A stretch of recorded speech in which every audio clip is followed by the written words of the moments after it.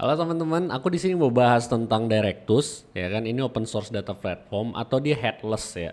Jadi dia uh, no code, bisa dibilang no code, bisa dibilang juga uh, low code lah ya. Jadi kita bisa bikin kalau misalnya teman-teman ingat SharePoint ya, kalau misalnya Microsoftis bakalan ada yang kayak apa ya, punya apa collection atau list baru di dalam list ada item-item dan yang lain-lain. Ini bisa dimanfaatkan untuk itu, ya kan? Jadi nggak selamanya harus di coding gitu ya. Kalau misalnya aplikasinya hanya crud-crud doang nggak pakai ini aja gitu kan nggak perlu juga kita harus microservice ya.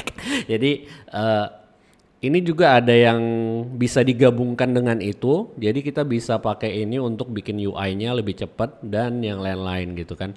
Karena pada akhirnya kan kita kan nggak walaupun kita itu software engineer nggak segala sesuatunya harus kita solve dengan code gitu ya jadi kan karena kita problem solver kalau misalnya pakai kipas angin aja udah bisa kenapa kita harus bikin artificial intelligence gitu kan aneh juga jadi uh, kita pick tools yang memang cocok dan cepat dan juga kita bisa produktif dengan itu sehingga kita bisa tackle masalah-masalah lain yang lebih kompleks. Jadi jangan sia-siakan tenaga Anda untuk coding-coding yang nggak penting-penting gitu ya. Hanya coding untuk yang penting aja. Thank you.